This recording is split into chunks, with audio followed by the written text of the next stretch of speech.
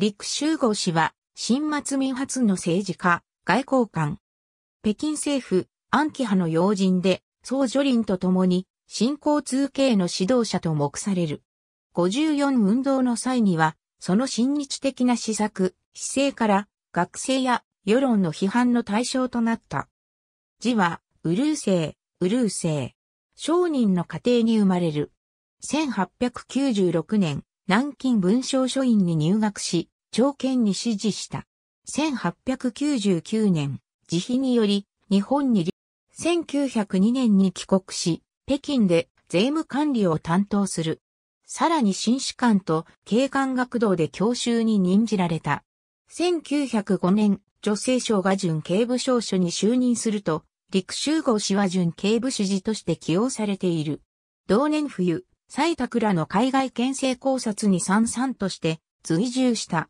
1907年、東三省が創設され、女性省が初代東三省総督となると、陸もこれに随従し、法廷に用務局総弁検官東三省氏を務むに任じられた。1908年、候補四品慶道に昇格する。翌年、女性省が北京に戻ると、陸州護氏もこれに従い、県政編査官官員に任じられた。1910年、市政院議員に選出される。翌年秋には、交通銀行協理、印局局長を務めた。遠征外が内閣を組織すると、宅地部長と副大臣代理を兼ねた。中華民国成立後、総統府財政顧問に任用される。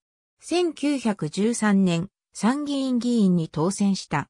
同年12月、中日全権公使として日本に赴任した。翌年秋に日本が三島出兵を開始すると、陸州護氏は遠征外の意を受けて中国の中立を日本側に伝達している。1915年1月、大隈重信内閣が大化21箇条要求を円に突きつけてくると、外交部次長、総女林が北京で中華な日本公使日置駅との交渉に臨む。その一方で、陸は東京で外相、加藤孔明と会談を重ねた。5月25日、最終的に円は要求を受諾している。同年、遠征外が皇帝即位を図ると、陸州号氏はその世を受けて、大熊内閣と交渉し、秘密裏に円への指示を取り付けた。しかし、次第に円が五国戦争などで不利な立場になると、大熊内閣は円への支持を取り消している。1916年6月、円の死去直後に、陸は本国へ召喚された。同年秋、陸州護氏は、交通銀行小東会長に就任した。翌年1月、総女林が交通銀行総理に就任すると、西原借款の交渉のため、陸が日本に赴いて、首相の寺内正武と会談している。その後、日本側の要望も入れる形で、陸と中日公使、小総省は断気髄に対独戦線を助言した。1917年8月、西原借款を運用するために、中日合弁の中華企業銀行が成立すると、陸州護氏がその総経理に就任した。翌年10月、ダンが下野に追い込まれると、陸はその直前に平成局総裁に任命されている。1919年4月には、チャハル流園鉄鋼講師、ただし弁も兼任した。陸は、総女林と連動する形で交通、財務部門で勢力を拡大し、新交通系の指導者と目されるようになった。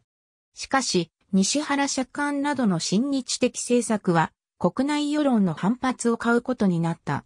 同年5月の54運動において、陸州護氏は、総女林、小総省と共に、売国奴と求断された。そして、デモ隊が、宋の邸宅を襲撃し、省を横打する事件が起きたが、この時陸は身を隠して、難を避けている。6月、陸は、政府の職務を罷免された。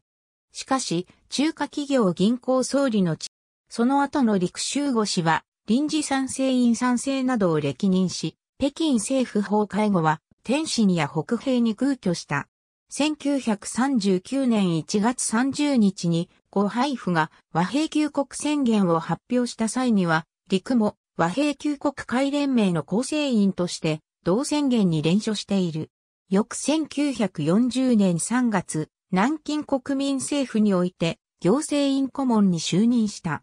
1941年6月1日、北平にて病没。去年66。ありがとうございます。